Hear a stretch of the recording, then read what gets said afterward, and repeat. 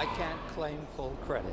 John Tauranac was head of the MTA Subway Map Committee back in 1979, and a version of the subway map he helped create is in every station today. But he's not happy with what he is seeing because he says it is inconsistent, illegible, and lacking in vital information like defining part-time service. Does that mean that, that the line only operates weekdays or only weekends or uh, whether it operates rush hours. So this 80-year-old map maker and NYU teacher of architectural history wrote to the MTA about a new version of the map shown here, but was not pleased with the MTA's response. They have told me that they are not taking outside vendors to work on their maps. Pix 11 asked subway riders what they find confusing about this map. Transfers, maybe that could be made clearer there are so many different changes, so many different new lines that are out there.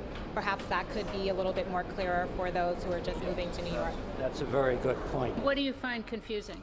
Well, a lot of these lines are the same color, and you have to, if, especially, I mean, this is fine, but when you're on the train looking, everything's smaller, and you have to lean over a person, you know? Right. So it's kind of hard to look at everything. So this map maker is hoping the MTA hears his pleas and will let him work on a new version. So you live in hope that they will listen to you and make the map clearer, easier to follow, and more accurate? Absolutely. Those words are golden. But sadly for Mr. Tauranac, I don't think he's going to be working or consulting for the MTA anytime soon.